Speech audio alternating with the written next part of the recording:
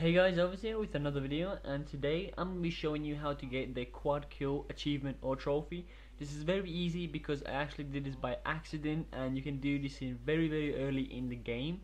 So the mission you have to do this on is called a cultural exchange and as I said I did this by accident so what you need to do you need to throw down a couple of C4s in one specific spot uh, not here actually the one the the next C4 I throw down is a crucial one because that's the one that's gonna get you the trophy.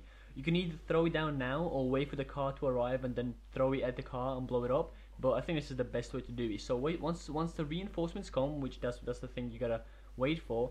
Uh, once they come, there's gonna be people running from the right side, then a car coming from left side with three people in it, and then finally a car from the right side which you need to blow up like so and once you do that the trophy will pop up saying quad kill and you will unlock the trophy. Very very easy and as I said very early in the game. Uh, I hope this helped. Let me know what you thought of the uh, video in the comment section below. But that's pretty much it. Thanks for watching and I will see you in my next video